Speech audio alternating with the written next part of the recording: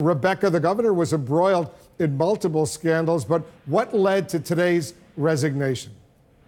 That's right, Wolf. Well, uh, most recently, there was a court decision uh, just today uh, that the governor would have had to open uh, documents from his campaign, from an affiliated nonprofit called the New Missouri, uh, for a Missouri House committee that has been in- investigating the governor. Uh, and so essentially all of their dirty laundry would have been out there in public, uh, really could have led uh, to um, some really uh, damaging revelations uh, for Governor Eric Greitens. And of course, he had uh, an impeachment process ahead of him. The Missouri House was poised in the next few weeks potentially to vote on his impeachment, and then he would have had a week or month long process of in, an impeachment trial. And so he had all this ahead of him. In addition, he faces a felony charge of computer tampering for his campaign using a nonprofit donor list for their fundraising. And so there was really no light at the end of the tunnel for Eric Greitens. Well,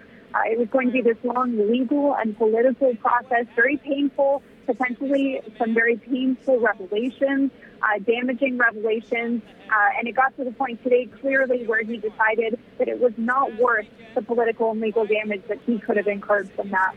I want, want to remind our viewers what led to, to all of this, the accusations against him. Absolutely, Wolf. This is a saga that's been going on for five months. There have been five months of these accusations of inappropriate behavior and, in some cases, criminal wrongdoing.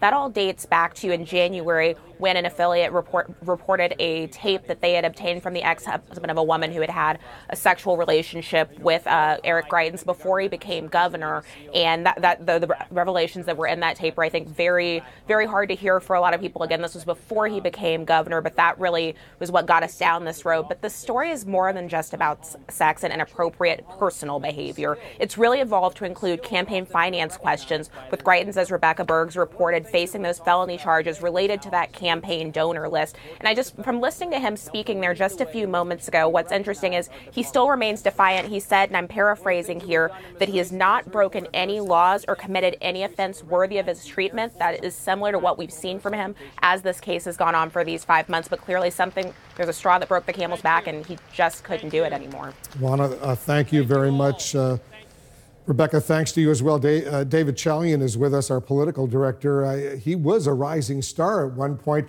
There were huge expectations for the Missouri governor. That's right. I mean, people looked at him as a potential presidential prospect down the road in the uh, Republican Party, Wolf. It, it is important to understand the political context of what happened here. First of all, the pressure from his fellow Republicans had been so intense, but he was uh, withstanding that as he was saying, I'm going to fight this. I want the trial. I want to go through this process. I'm going to stand and fight. Uh, it obviously came too much to bear. The other thing to look at here is that this was having an impact on the all important Senate race. Claire McCaskill running for reelection there uh, against the Attorney General in the state, Josh Hawley, in Missouri. It's one of the huge high profile battles this year for the Senate. And the Greitens scandal was having a real uh, downward pressure on the Republican candidate in the Senate race as well. That's why a lot of the uh, fellow Republicans of Greitens were was urging him to move on and get past this and, and resign from office. Uh, this is still a surprise, though. It's a totally different posture from where he's been. I think Rebecca Berg put it great when she said there just simply was no light at the end of the tunnel.